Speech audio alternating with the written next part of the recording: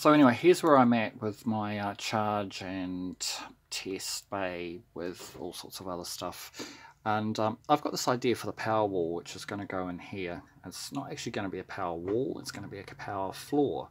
And what I thought I'd do is get some little um, 14 parallel modules with fuses and all the good stuff.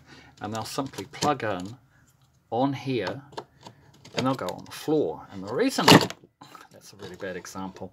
And the reason I'm thinking that is because this is Christchurch.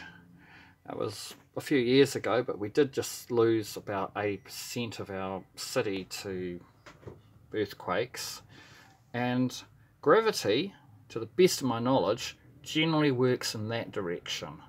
So this seems to me the most sensible way to do it.